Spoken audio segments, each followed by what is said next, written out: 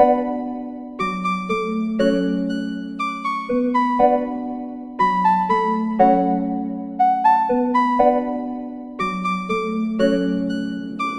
you took on the beats.